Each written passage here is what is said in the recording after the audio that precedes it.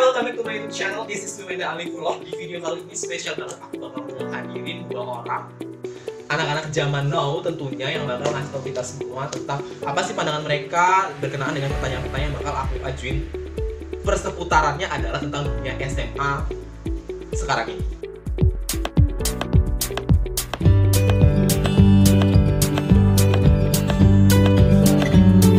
Nah, langsung aja kita panggilin mereka yang ini dia mereka berdua sini.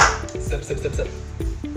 Weh, ada dua raksasa di antara aku. Zap zap zap. Zap, zap. Oh, gini dulu dong, kenalan dulu pakai kan lagi pada belajar beatbox. Coba kenalan dulu pakai beatbox ala-ala yang gak seberapa ini. Lalu, Lu, Will, banget. Emang Oke, sebelum kita masuk ke pertanyaan-pertanyaan inti yang tentunya juga teman-teman ingin tahu pendapat sama pandangan kalian tentang apa yang mau aku tanya. Pertama kenalin dulu deh diri kalian. Oke. Oke, kalian nama gua Badri Mas Duki. Dipanggil Badrun. Panggilan saya Mas. Oke, saya dari SMK Negeri 1 Kunci Kanan. SMK. Si doi ini anak SMK. Ya. SMK. perkenalkan nama saya Wildan Kiro Nasrullah. Saya sekolah di SMA N1 Kerinci Kanan. Nah, jadi sekarang aku udah punya dua orang yang background pendidikannya saat ini berbeda, yang ini di SMA dan yang ini di SMK. Kita lihat pandangan mereka tentang apa-apa yang uh, mau aku tanyain. Pertanyaan ini sebenarnya udah udah aku dapetin dari Instagram ya waktu aku bikin polling itu kan. Ya aku bikin polling, aku bikin Q&A. Kalian-kalian yang pada mau nanya tentang uh, SMA dan SMK boleh langsung uh, nge-DM aku atau jawab di polling itu karena ini udah ada beberapa yang aku. Pertanyaan pertama silakan tolong dijawab mulai dari Will dan deh. Waktu kamu SD nih atau SMP lah, pokoknya sebelum SMA. Siap. Apa yang kamu pikirkan atau pandangan kamu tuh apa sih lihat orang-orang SMA ini? Keren. Pacaran. Oh siap pacaran. SMA tuh Apa? entah pokoknya lebih keren aja daripada SMK. SMK tuh kayak kurang kurang kece gitu. Why? Why? Why? Iya, tuh SMA lebih lebih kayak lebih kece aja daripada SMK gitu. Oke, oke. Kita debat, kita Oke, itu menurut dia. Oke. Kalau menurut Badrun, gimana Drun? Waktu kamu SD, Waktu SD nih ya. hmm, ngelihat orang-orang SMA. Waktu gitu SD melihat orang-orang SMA itu ya. SMK. Kalau Oh, SMK ya, oh, iya. oh, berarti SMK lah. Kalau SD waktu melihat orang SMK itu dia kayak orang. Gimana gitu? You don't say Ya ya. mereka tuh kayak orangnya udah gede-gede gitu, berjenggot, ya, berambut tebal. Udah gitu. Kayak lu ya, Wih. sih sekarang berjenggot. Ah iya nih. Ah iya iya. Oke, Ya gitu dah. Oh jadi gue gue nih sekarang. Oh ya. siap. Jadi gini, um, Wildan dari SD atau SMP emang pengen ke SMA? Iya. Oke, kalau kamu dari SD atau SMP emang pengennya ke SMK atau dulu sebenarnya ada ada proses yang akhirnya oke gue SMK.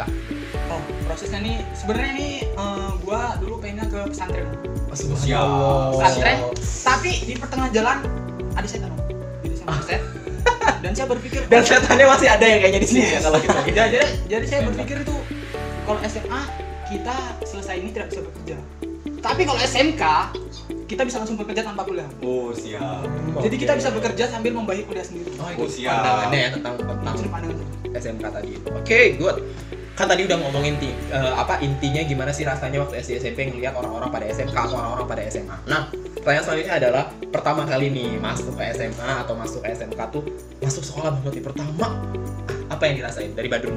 Oke, bentar. Pertama kali masuk SMK itu ya, hmm, kita tahu lah anak SMK itu ya berandal-berandal gitu, beda dari SMA. Jadi kita masuk SMK itu perasaan takut dulu, tahu dibully, takut dihajar gitu. Nah jadi perasaan tuh, Dan ternyata bener nggak pas mau masuk? eh ternyata tidak benar sih. Jadi Mas lu yang ngebully ya? jadi eh, apa katanya itu tidak sesuai dengan apa faktanya. Oh, Itu Oke, jadi buat teman-teman semua di rumah, jadi kalau misalnya ada informasi bahwa sekolah SMA atau SMK itu ada bully-bulian dan lain sebagainya, sebenarnya nggak bener ya. Itu Iya, hanya mindset kita barangkali karena kita ngelihat kakak-kakak tingkat kita di SMA atau SMK tuh lebih dewasa, lebih tegar, lebih kuat dibandingkan ketika kita SMP. Benar, jadi banget. kesannya mereka mene- menekan kita gitu. Iya. Padahal mereka cuma pengen mau kita lebih tegas, kita lebih berani, dan kita lebih mandiri lagi barangkali seperti itu ya. Itu jadi bisa dicontoh buat teman-temannya di rumah. Kalau Wildan sendiri SD, SMP, tiba-tiba masuk SMA, what do you feel? Apa yang kamu? Seneng bos, seneng. Seneng dulu soalnya dulu tuh cita-citanya tuh jadi dokter. Dokter. Wih, Niatan dulu. Sekarang kan masih bisa juga dari dokter. Siap. Jurusannya apa di SMA? IPA. IPA. Kalau Badri? oh komputer sama anak TKJ men. Oh, komputer, ya. Tadi ngomongin dia TKJ, kalau ini tadi karena pada dasarnya dia mau ke dokter, ini apa? Pada dasarnya Kenapa TKJ? Teknik komputer jaringan. Yang kita tahu yang semakin maju perkembangan itu semakin didasari oleh ilmu komputer. Wih, tepuk tangan dong buat anak-anak TKJ. Tempat kumpulnya jomblo. Iya pula TKJ. Oke, Ayo kebetulan lagi jomblo. baru putus ya saya. Baik, langsung aja deh kita ke pertanyaan selanjutnya. Tadi udah pada ngebandingin masing-masing tentang SMA itu begini, SMK itu begini. Langsung aja deh. Kalau dari pandangan kalian itu, Wildan deh memandangkan SMK itu apa sih bedanya dengan SMK? Ya itulah penampilan sama Oh, penampilan kalau di SMK itu gimana? kayak rapi, lebih kece dibandingkan SMK. SMK tuh kayak misalnya otomotif apa-apa tuh lebih berantakan lah, nggak teratur stylenya gitu. Oh, Oke, itu dari segi style tuh Ah. berantakan. Gimana coba tanggapannya Badrun? Dari segi style Hmm. Setuju ya? Iya setuju, memang setuju. Iya tuh, Cok. tapi ini sebenarnya tapi di SMK ini ada jurusan yang namanya akuntansi Oke, dan di situ dia memakai memakai jas sangat rapi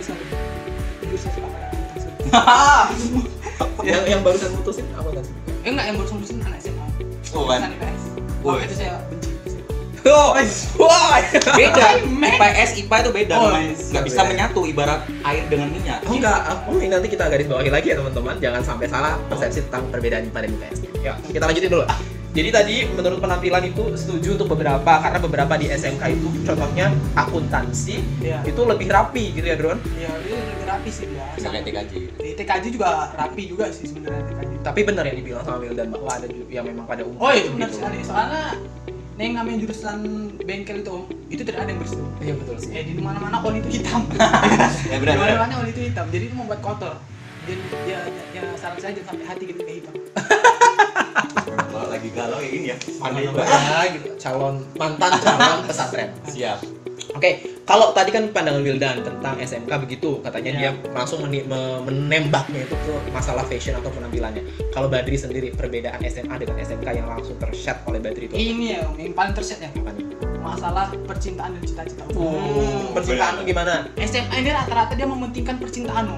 Oke. contohnya kayak Gilang gitu nah, Oh. Gilang itu ay, percintaan Korban film. brutal itu kan tapi kalau SMK ya nggak ada sedikit Apa? sedikit gimana ya ya dia tuh eh, fokus ke fokus fokus ke ke jurusannya Om. fokus ke jurusannya Misalnya kalau Badri, ah saya fokus ke komputer kan Om. nah, saya, saya berarti nggak pacaran? alhamdulillah pacaran Nah, Ah, sekarang sudah tidak Om. barusan. Aduh. Oh, jadi itu yang disoroti ya. Jadi uh, dari dari segi percintaan percintaan dan kepentingannya kepentingan. ya. Tadi katanya kalau SMA itu lebih pada cinta-cintaan. Ngambil contohnya Dilan. Gimana pandangannya? SMK ya juga ada pacaran-pacaran. Orang yang ngomong kayak gitu ya jomblo. enggak kan tiba ada kata-kata. SMA Enggak, itu cuma orang yang jomblo jadi buat kata-kata kayak gitu. Tuh. Ya itu segi, pandang saya Oke, jadi itu tadi adalah perbedaan SMA dengan SMK menurut sudut pandang Badri dan juga Wildan. Selanjutnya kita lanjutin ke pertanyaan selanjutnya.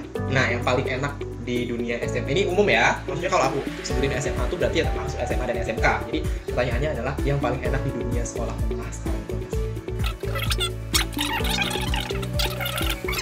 ya yang pertama Cara kedewasaan main enggak? kedewasaan semakin kita bertambah semakin kita dewasa Lo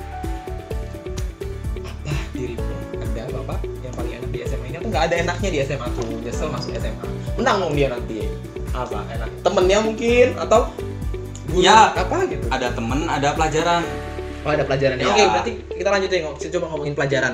Kalau pelajaran yang paling enak di SMA itu apa? Jelas biologi. Laki-laki pasti paham lah biologi. matematika. Biologi, ke biologi. Biologi. Biologi. no comment biologi. Enggak emang ada di SMK enggak maksudnya ya Oh, iya. Ah, biologi.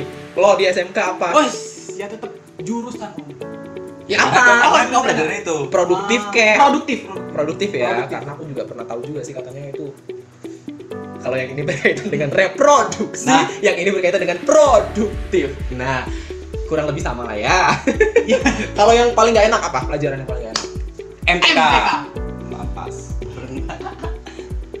gimana no comment sih karena aku guru matematika dan aku akan membuat keyakinan kalian semua tentang matematika itu berbeda matematika itu asik apalagi kalau aku enggak trust me.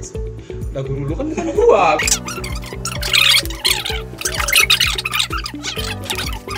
Tenang aja, kalau murid bosen, apalagi gurunya. Coba, coba perhatikan perasaan guru. Gurunya juga pasti tinggal kerjain halaman sekian sekian. Oh no no no that's wrong ya. Buat teman-teman guru di luar sana atau teman-teman siswa di luar sana yang lihat video ini jangan salah. Jadi tugas guru tuh nggak cuma baca ini kerjakan ini. Kalau guru kamu masih seperti itu berarti gurunya belum menerapkan sistem pembelajaran yang diharapkan oleh pemerintah.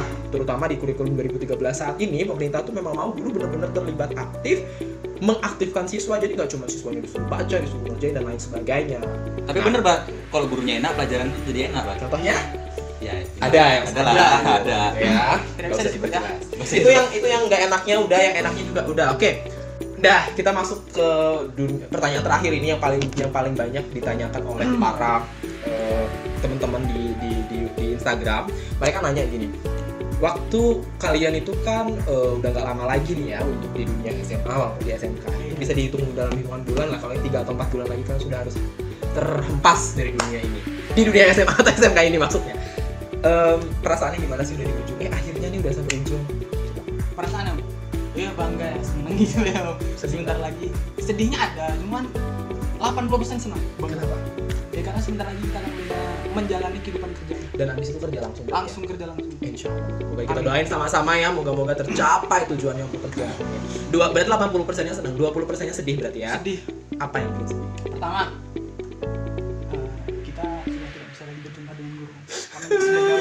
karena hal paling penting di dalam dunia pelajaran itu adalah guru Oh, siap. siap. Siap. yang kedua kawan Tapi teman itu masih tetap bisa komunikasi kan? iya teman tetap bisa komunikasi walaupun kita berbeda tempat That's right. Tuh.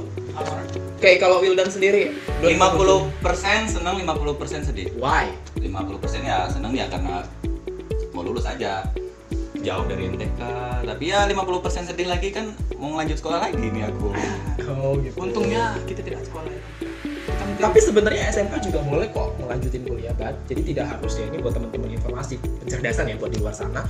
Kalian itu mau dari SMK atau dari SMA sekarang pemerintah sudah mensamaratakan buat teman-teman yang memang mau melanjutkan studinya dari SMK itu sudah boleh ikutan SBMPTN ya. Begitu. SMA juga bisa. Jadi menambah ilmu lagi, menambah apa ya kemampuannya lagi, keilmuannya lagi dan Badri juga kalau misalnya nanti kerja harapannya setelah jadi karyawan bisa ngikutin kelas karyawan. Jadi ilmunya Ya. tidak stuck di situ gitu. Dan ini juga tadi katanya mau lanjut lagi kira-kira mau ke mana? Tadi dokter ya awal masuknya kita lihat nextnya mau ke mana. Fotografi om. Iya. Saya dari kecil memang udah udah ada impian eh enggak sih memang udah hobi. Oke hobi banget sama yang namanya fotografi ya tapi akhirnya itu akan dijadikan profesi dengan melanjutkan pendidikan di bidang fotografi setuju? Oke, kita doakan ya semoga kedua-duanya ini mau di mana pun mereka setelah SMA ini mau bagaimanapun keadaannya mereka dengan pilihan mereka tentunya kita doakan semoga sukses. Oke, selanjutnya pesan-pesan deh dari kalian untuk adik-adik generasi SMA-nya apa dan adik-adik generasi SMK-nya apa. Kalau bisa bikinlah mereka damai, tidak ada tawur-tawuran. Ah, silakan. Siapa duluan? Pesan adik-adiknya tadi silaturahmi. Jangan pacaran. jangan pacaran. Jangan pacaran beda sekolah. Nggak enak. Bisa diselingkuhin. jauh. Tidak bisa diselingkuhin. kalau pacaran sa- satu sekolah sama aja bat nanti berantem terus. Bosen juga kalau sering jumpa.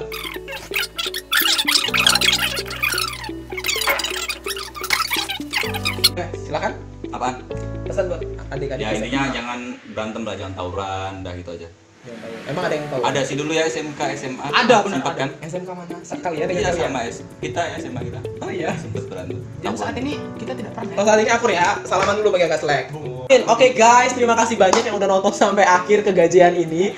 Kalau kamu ada sesuatu yang mau kamu komen tentang Wildan, tentang Badrun, atau tentang aku, boleh komen aja di bawah. Jangan lupa untuk like, subscribe, dan juga share video ini Supaya teman-teman kamu di luar sana juga tahu tentang informasi Pesan-pesan, rasa, perasaan, apa aja yang ada di dunia SMA dan di dunia SMK di video ini.